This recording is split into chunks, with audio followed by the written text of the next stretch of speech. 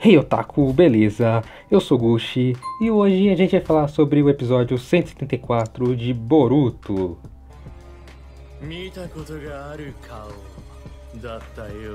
Bom, o episódio volta de onde parou o anterior, com Konohamaru e Mujin lutando contra o Victor, e agora a gente tem a presença de uma nova árvore divina ali, e os planos do Victor são revelados. O Victor, durante o episódio, explicou que aquela árvore que apareceu no episódio passado realmente era um fragmento de árvore divina que ele pegou durante a guerra no campo de batalha. Ele reativou esse fragmento para conseguir o fruto de chakra.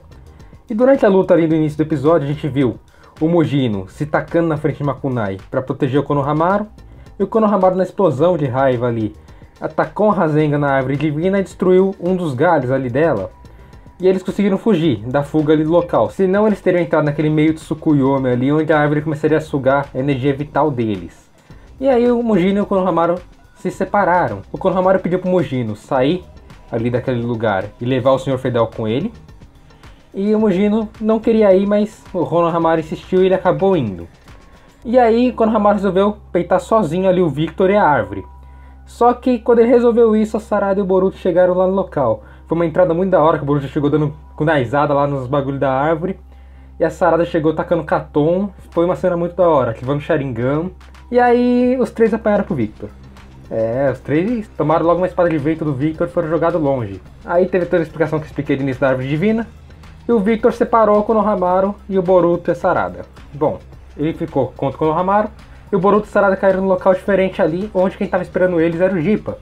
Então agora teremos Victor contra Konohamaru e Boruto e Sarada contra Jipa. Aí tem aquela provocação que o Boruto faz.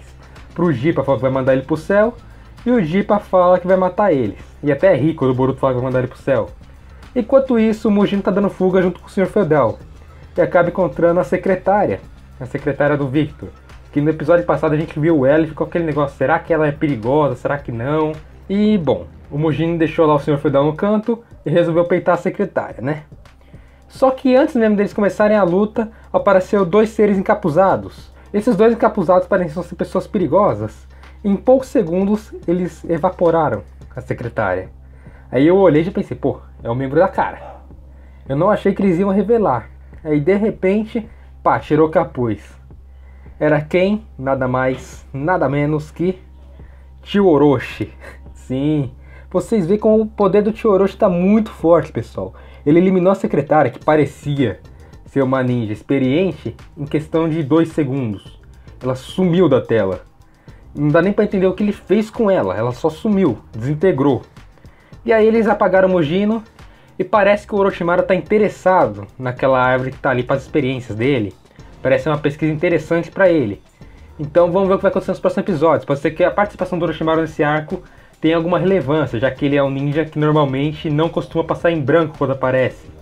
Então pode ser que ele acabe atacando o Victor e protegendo o Konohamaru, talvez. Vamos ver. Como eu disse nos episódios anteriores também, o Orochimaru está bem ativo na obra, então pode ser que ele acabe sendo utilizado para várias coisas no futuro. Como eu disse, ele tem Edo Tensei, ele tem experiência com várias pesquisas que ele fez com humanos, ele sabe jutsus proibidos. Então ele é um ninja muito versátil, muito bom de ser utilizado. Se ele estiver do lado de Konoha, ele vai ser uma grande arma para Konoha. E bom, quanto à árvore divina, foi revelado no mangá alguns segredos sobre ela, eu vou deixar aqui no card aqui para quem quiser ver. E esse episódio deixou claro algumas coisas pra gente, pessoal.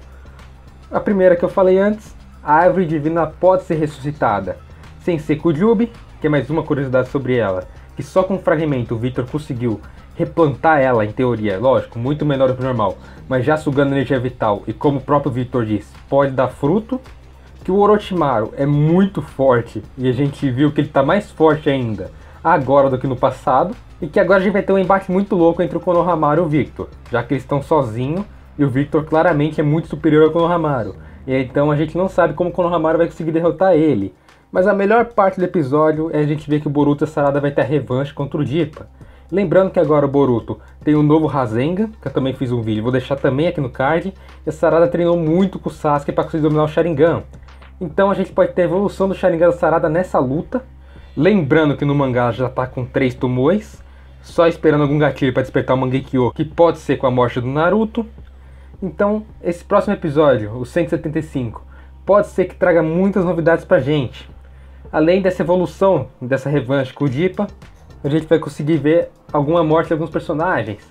Lembrando que o Victor também morreu no mangá, ele morreu em poucos capítulos ali, logo quando ele apareceu, ele morreu logo em seguida, e pode ser que seja depois desse arco ele já morra. Então a gente vai ter a primeira aparição também do Kashin Koji. E o anime de Boruto cada hora vai esquentando mais. Pra quem reclamou muito início do menino mimado, agora ele tá amadurecendo e ficando muito, mas muito forte. Além disso, ele agora parece que perdeu o medo de lutar, o medo de tudo. E tá sendo muito importante essa evolução do Boruto dessa lado agora. Além da mentalidade, ele está evoluindo também o poder dele de fogo. Então, provavelmente, em breve a gente vai ver um Boruto Sarada muito, mas muito mais forte. Ainda mais quando o Boruto começar a dominar o Karma no anime.